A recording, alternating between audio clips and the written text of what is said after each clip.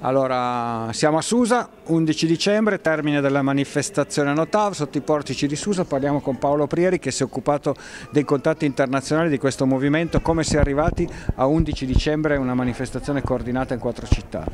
Sì, questa manifestazione che oltre ad essere Notav è una manifestazione europea contro le grandi opere inutili che si, che si svolge qui a Susa ma contemporaneamente a Bayonne e a Stoccarda, mi fa piacere dirlo, è eh, il risultato di un coordinamento che è nato quasi eh, circa un anno fa, dicembre del 2009, quando in un modo quasi casuale, dobbiamo dire, siamo riusciti a metterci in contatto con le lotte del sud-ovest della Francia e il sud-ovest della Francia con noi. Questo naturalmente è, è dovuto un po' alla rete, la, grazie all'internet che eh, anche in questo caso ha dimostrato la sua potenza di creare relazioni a tutti i livelli la, a quel momento abbiamo cominciato a scambiarci messaggi e a costruire insieme quella che sarebbe poi diventata la carta di Andai, che in quel momento si chiamava dichiarazione comune, che abbiamo firmato, sottoscritto il 23 gennaio ad Andai, che è una città nel sud-ovest della Francia, nei Paesi Baschi francesi. In quel giorno una grande manifestazione, 20.000 persone, e a Susa nello stesso giorno un'altra grande manifestazione di 40.000 persone percorreva le vie di quella città. In Francia la manifestazione è partita dalla, dalla stazione di Andai per recarsi in, Francia, in, Spagna, scusate, in Spagna che è proprio dall'altra parte di un fiume ed è ritornata ad Andai.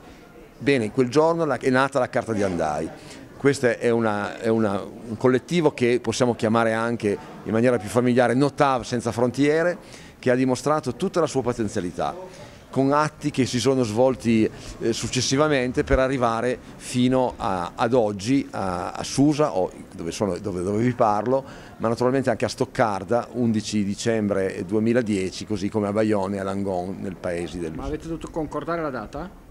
La data è stata proposta dai francesi ed è stata subito accettata da noi perché corrispondeva ad un periodo nel quale sicuramente avremmo dovuto impegnarci di nuovo come abbiamo fatto perché la ripresa, come possiamo dire, delle lotte notave è cominciata subito dopo le vacanze estive a settembre con manifestazioni. Stoccarda come è stata agganciata? Allora, Stoccarda è una lotta che nasce molti anni fa e che ha avuto il suo, il suo apice a partire da maggio del 2010 fino ad arrivare ad oggi. Stoccarda aveva deciso di fare una manifestazione l'11 11 di dicembre in modo autonomo, lo dobbiamo dire, ma subito abbiamo preso contatti con loro perché la data era la stessa, le questioni erano le stesse e finalmente siamo arrivati a concordare diciamo, degli, degli slogan insieme e a scambiarci dei messaggi di solidarietà. Poi possiamo concludere con Terzigno che è una questione un po' diversa, quella delle discariche, ma comunque avete un gemellaggio mi pare. Sì, Terzigno naturalmente è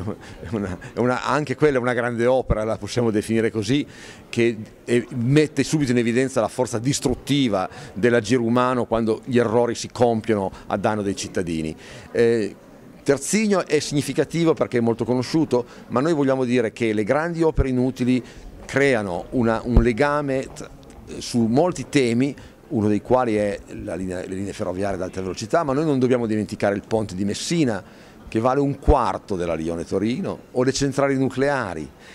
o altri, altri, momenti di lotta che noi sappiamo esistere, il sottotraversamento di, della città di Firenze per fare un esempio, oppure delle cose che riguardano le ferrovie come la distruzione e la morte che si è creata con l'incidente di, di Viareggio. Il nostro impegno nell'essere